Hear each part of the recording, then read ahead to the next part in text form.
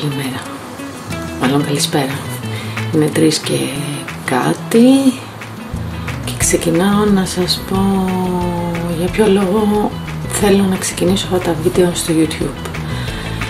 Η πιο βασική προϋπόθεση για όλα αυτά είναι η ανάγκη που έχω εγώ προσωπικά να εκφράσω όλα αυτά που συμβαίνουν μέσα μου, έξω μου, στους γύρω, στο σπίτι μου, στους φίλους, σε όλα αυτά τα πράγματα. Με μια πολύ ευχάριστη και χαρούμενη διάθεση μέσα από την ε, κρεβατοκάμαρά μου και σίγουρα μέσα από το μη φτιαγμένη αυτό το χρονικό διάστημα καθόλου. Όπως βλέπετε, γιατί συνεχίζω να πάω με το ρομπάκι. Είναι Σάββατο και βαριέμαι να φτιαχτώ γιατί δεν έχω και κάπου να πάω.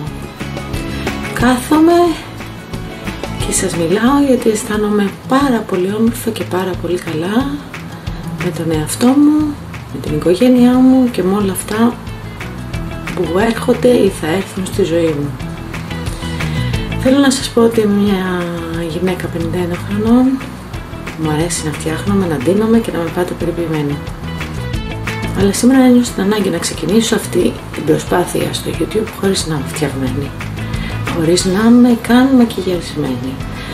Έχω πλύνει μόνο το πρόσωπό μου και συνεχίζω ακόμα να πίνω τον καφέ μου. Μαγείρεψα για τα παιδιά και κάθομαι τώρα μόνη μου να δω τι θα βγει, τι θα μπορέσω να μοντάρω, τι θα μπορέσω να φτιάξω, τι θα μπορέσω να σας πω.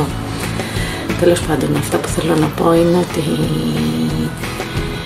η καραντίνα εμένα από το Μάρτιο και ύστερα με όλες τις εκφάνσεις που είχε της σκληρής, της light, της έξω, της μέσα, της με μάσκα, χωρίς μάσκα, εμένα προσωπικά μου κάνει καλά, με βοήθησε να μπορέσω να ξεπεράσω διάφορα